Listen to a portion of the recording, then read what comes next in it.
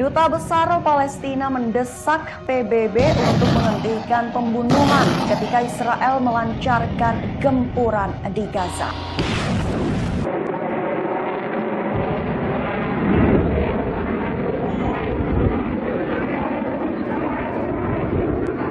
Ia adalah Riyad Mansur. Ia menyebut bahwa negara-negara tertentu yang tidak disebutkan namanya telah menerapkan standar ganda dalam perang. Putusan Palestina untuk PBB itu telah meminta negara-negara anggota untuk memilih mengakhiri pemboman Israel di jalur Gaza serta meningkatkan pengiriman bantuan kepada 2,3 juta warga Palestina yang tinggal di wilayah tersebut, ketimbang memilih untuk mendukung penggempuran Israel di jalur Gaza. Saat berargumentasi mengenai gencatan senjata, Mansur mengatakan bahwa ada negara-negara tertentu yang tidak disebutkan namanya justru menerapkan standar ganda dalam konflik tersebut. Majelis Umum yang beranggotakan 193 negara itu bertemu untuk mengadakan sesi darurat. Ketika lembaga bantuan dan kelompok hak asasi manusia memperingatkan bahwa kondisi kemanusiaan di Gaza berada pada titik kritis lebih dari dua minggu setelah serangan Israel yang tiada henti. Menurut otoritas Gaza, lebih dari 7.000 orang tewas dalam pemboman Israel tersebut. Serta Israel juga memutus pasokan makanan, air, listrik, dan bahan bakar ke wilayah itu. Sebatas informasi menurut ensiklopedia Holocaust, Pogrom adalah sebuah kata dalam bahasa Rusia yang berarti membinasakan, menghancurkan dengan kekerasan. Menyerbu Israel dari berbagai sisi, laut, darat, dan udara. Oleh negara-negara Arab yang menyerukan gencatan senjata dalam perang antara Israel dan Hamas di jalur Gaza.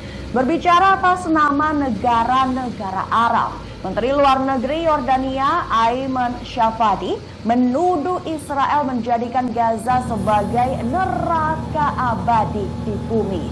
Trauma ini akan menghantui generasi mendatang.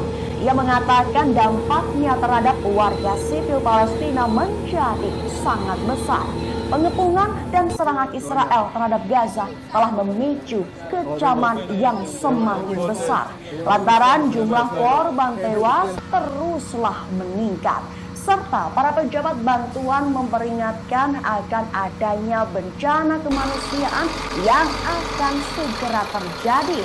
Layanan medis di Gaza hampir mencapai titik puncaknya selama beberapa hari karena pasokan bahan bakar terbatas akibat pengepungan Israel terhadap jalur tersebut. Sebelumnya, Badan Bantuan dan Pekerjaan PBB untuk Pengungsi Palestina atau UNRWA memberikan peringatan. Pihaknya memperingatkan bahwa stok bahan bakarnya hampir habis dan terpaksa menghentikan layanan penyelamatan jiwa. Para pemimpin internasional juga telah menyatakan kekhawatirannya bahwa invasi darat Israel ke Gaza dapat memicu eskalasi yang lebih luas di wilayah tersebut. Dalam pidatonya di PBB pada Kamis 26 Oktober, Menteri Luar Negeri Iran Hussein Amir Abdullahian juga memberikan peringatan. Ia memperingatkan bahwa negaranya tidak ingin melihat pertempuran meningkat tetapi jika genosida di Gaza terus berlanjut, mereka tidak akan terhindar. Dalam pernyataan bersama pada Kamis itu, negara-negara Arab seperti Bahrain, Mesir, Yordania, Kuwait, Maroko, Oman, Qatar, Arab Saudi, dan Uni Emirat Arab mengutuk apa yang mereka sebut sebagai hukuman kolektif Israel dan pemindahan massal warga Palestina. Di satu sisi, kelompok hak asasi manusia seperti Amnesty International telah menekankan perlunya gencatan senjata.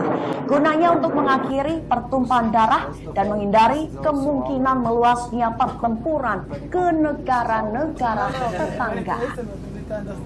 Berbagai negara meminta Israel untuk melindungi warga sipil Palestina yang berada di Gaza maupun di wilayah tepi barat. Permintaan itu mencuat seusai perang Hamas Israel pecah pada Sabtu 7 Oktober 2023. Seperti Jerman pada Senin 30 Oktober 2023 meminta Israel untuk melindungi warga Palestina di tepi barat. Sementara itu Amerika Serikat pada Minggu 29 Oktober memperingatkan Israel harus melindungi warga Gaza yang tidak bersalah. Selain itu meminta Israel untuk membedakan antara pasukan Hamas dan warga sipil. Dilaporkan atas saran Amerika Serikat pula, militer Israel membatasi ruang lingkup operasi darat yang sempat ingin diperluas terhadap kelompok bersenjata Palestina Hamas di Gaza.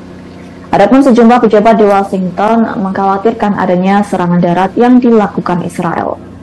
Kekhawatiran Washington muncul lantaran pasukan pertahanan Israel atau IDF dinilai tidak memiliki tujuan militer yang dapat dicapai. Atas kondisi tersebut, IDF saat ini tampak memiliki nyali lebih kecil. Selain itu, fokusnya lebih sempit dibandingkan serangan awal yang ditujukan ke Washington. Diketahui Perdana Menteri Inggris Rishi Sunak dan Presiden Prancis Emmanuel Macron telah menekankan pentingnya pemberian bantuan kemanusiaan yang mendesak ke wilayah Palestina.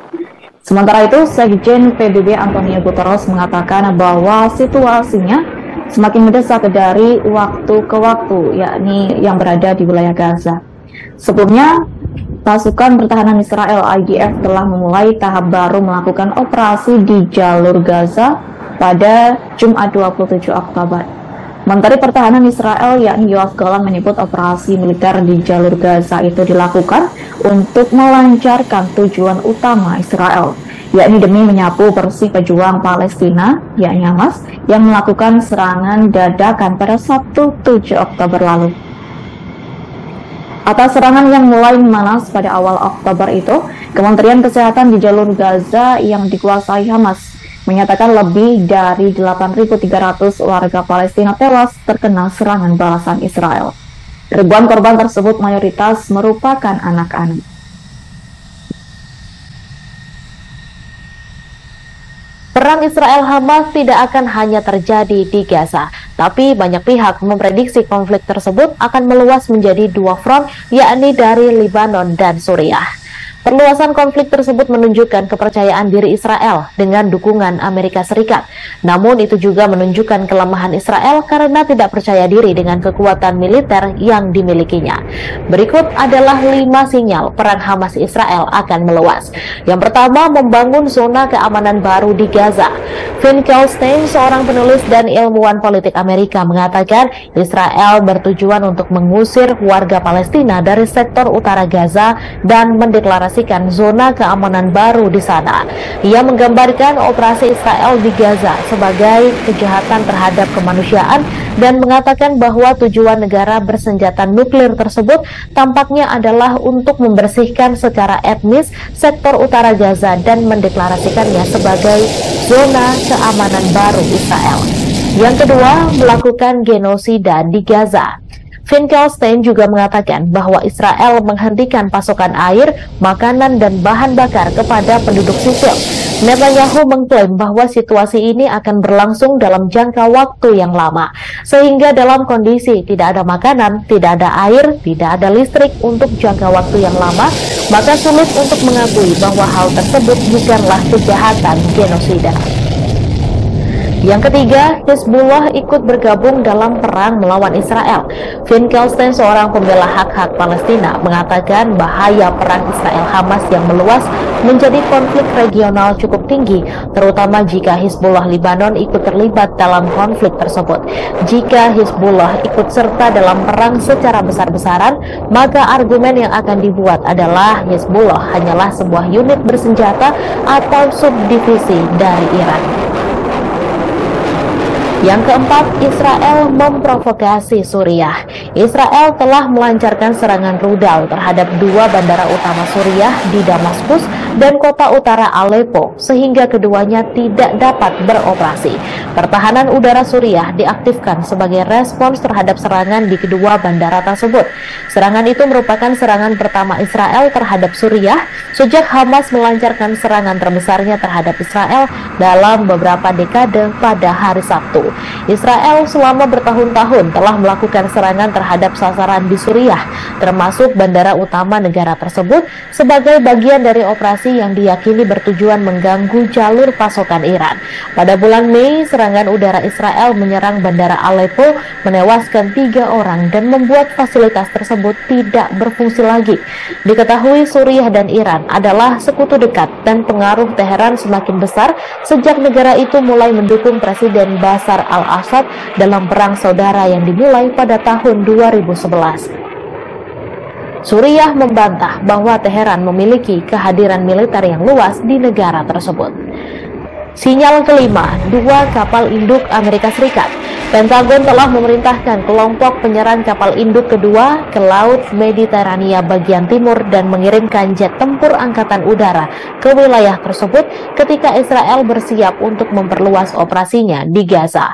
Kapal perang Amerika Serikat tidak dimaksudkan untuk bergabung dalam pertempuran di Gaza atau mengambil bagian dalam operasi Israel. Namun kehadiran dua kapal angkatan laut paling kuat dirancang untuk mengirimkan pesan pencegahan terhadap Iran dan proksi Iran di wilayah tersebut seperti Hizbullah di Lebanon. Pekan lalu, penyerang kapal induk pertama dipimpin oleh USS Gerald R. Ford tiba di lepas pantai Israel. Kini, kelompok penyerang USS Dwight D. Eisenhower yang dikerahkan dari Norfolk, Virginia pada hari Jumat sedang menuju ke Mediterania Timur. Kapal induk tersebut awalnya akan berlayar ke perairan Komando Eropa Amerika Serikat. Eisenhower dapat membawa lebih dari 60 pesawat pesawat, termasuk jet tempur FA-18. Sementara Ford dapat mengerahkan lebih dari 75 pesawat.